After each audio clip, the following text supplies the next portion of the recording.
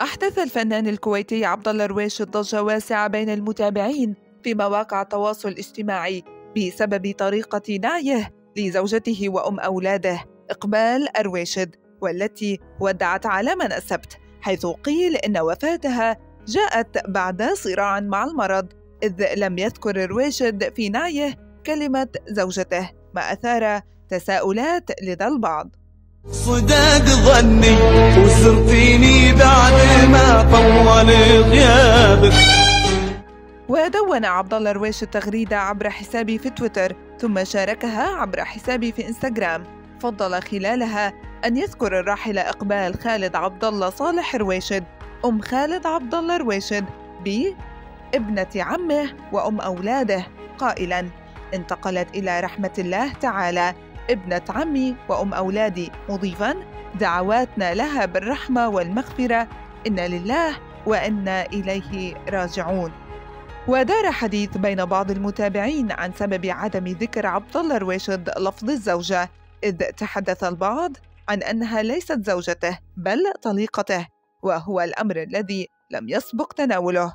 فيما اعتبر البعض أن لفظ ابنة عمه وأم أولاده له معنى أكبر عند عبد الله رويشد حيث حملت التعليقات الكثير من التساؤلات التي واجهها البعض بأن الحديث عنها لا طائل منه في ظل وجود حالة حزن لرحيل زوجته.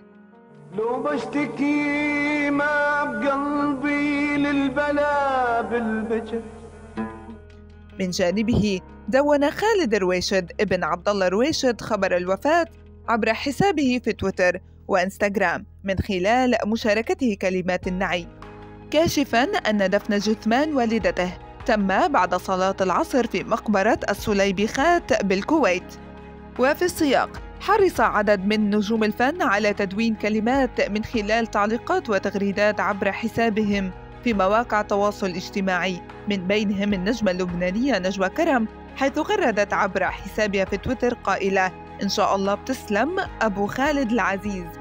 وتكون ختمة الأحزان.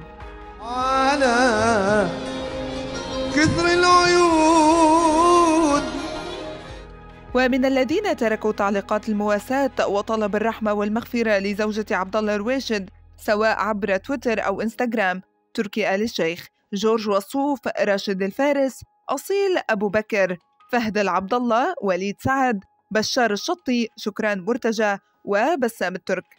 الجدير بالذكر أن عبد الله رويشد كانت بدايته الفعلية بالفن من خلال فرقة رباعي الكويت وكان عازفا إيقاعيا في ذلك الوقت.